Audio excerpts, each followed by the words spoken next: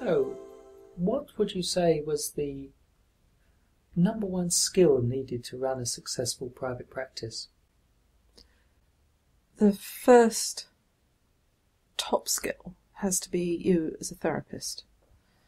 Um, and I put that first above all others. Although I am bringing into mind the idea of business, but it has to be a therapist because actually your main um, rich source of referrals is going to be word of mouth. People are going to be saying, "Great therapist, great therapist. You should go and see this therapist," and that's a great way of marketing. However, there are some very important seconds and thirds. I'm just going to quickly go there. It's really important to know what your business model is, to know how your numbers are going to work, how many people you have to see, what your fee you're charging, in order to, for you to make the income that you need so that you're not feeling completely stressed because actually, yeah, you're working really hard, seeing loads of clients, but just not making enough money.